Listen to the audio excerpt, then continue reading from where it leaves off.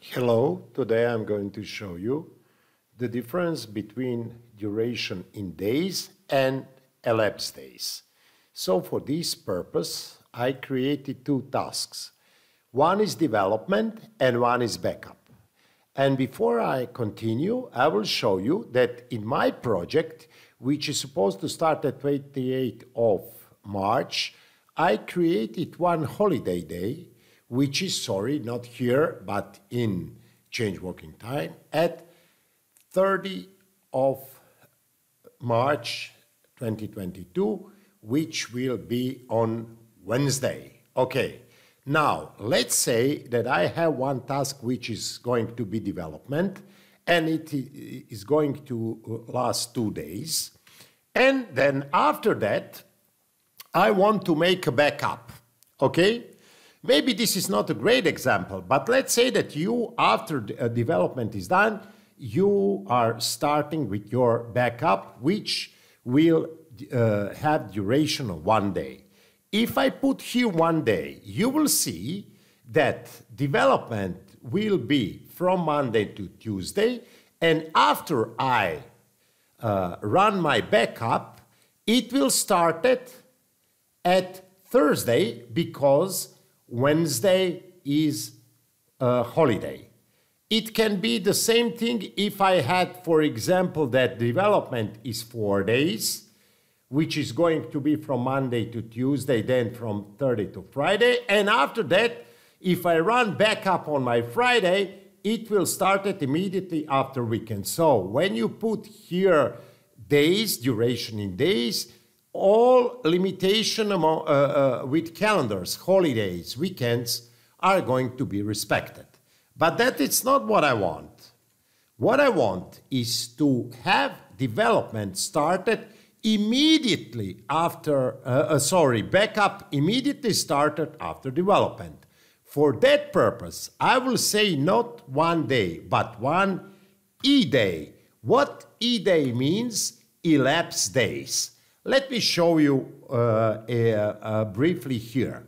I will change here my uh, uh, timeline, time scale, and I will say that the middle tier will be in days, okay, and bottom tier will be in hours. So if you if you go now and see and look at a task, task is supposed to start development uh, Monday 8, 8 o'clock. So it will last from 8 to 12. Then it's a break according to calendar. Then it will start from 1 p.m. to 5 p.m. Then again, second day, the same thing from 8 to 5.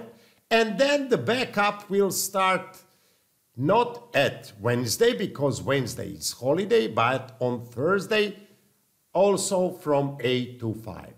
If I put here one E day, okay, then you will see that one E day means that backup will last, will last.